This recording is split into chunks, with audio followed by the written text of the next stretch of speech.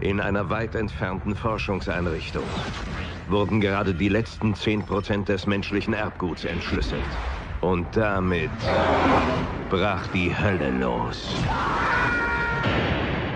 Nun wurde ein Hilferuf ausgesandt. Showtime. Hört zu, Männer, wir greifen an. Wenn es atmet, tötet es. Da kommt etwas hinter euch her. Es ist in der Kanalisation.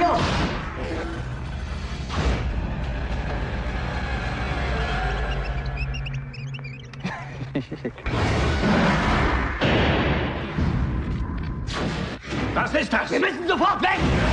Ah! Evakuieren!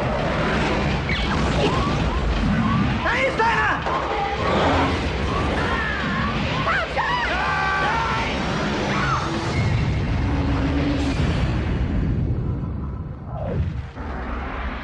Sir, alles in Ordnung?